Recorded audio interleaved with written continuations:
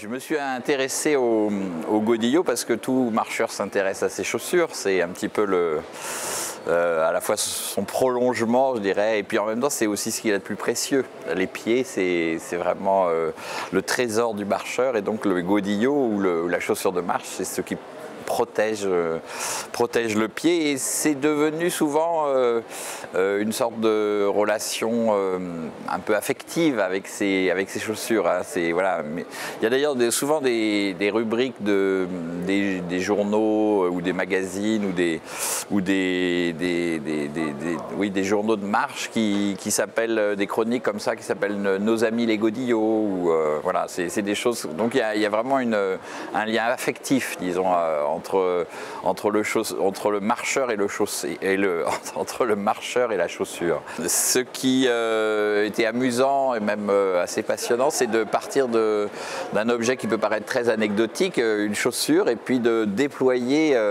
toute l'histoire et toutes les histoires sur presque deux siècles, hein, puisque le, le, godillot apparaît au milieu du XVIIIe siècle et qu'on en parle toujours. voilà, il a une descendance multiples. Hein, et donc il, va parcourir comme ça des champs de l'histoire très euh, différents. Euh, il part de l'histoire plutôt économique ou technique. Hein, comment est-ce qu'on fabrique une chaussure, euh, une chaussure pour les militaires, une chaussure, mm, voilà. Et puis comment est-ce qu'on on devient capitaine d'industrie comme Alexis Godillot, qui est le créateur du Godillot. Le Godillot vient de, vient de, vient de lui. Hein, c'est lui qui a créé cette chaussure au moment du Second Empire.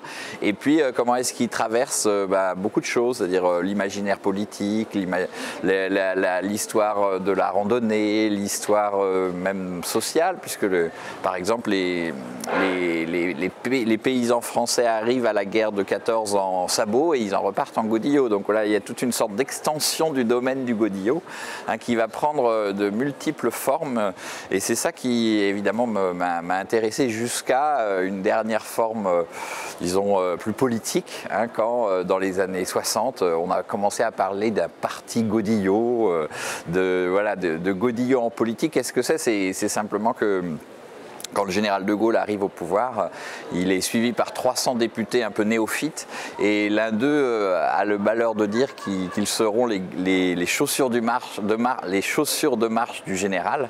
Et euh, voilà, immédiatement le canard enchaîné euh, sort.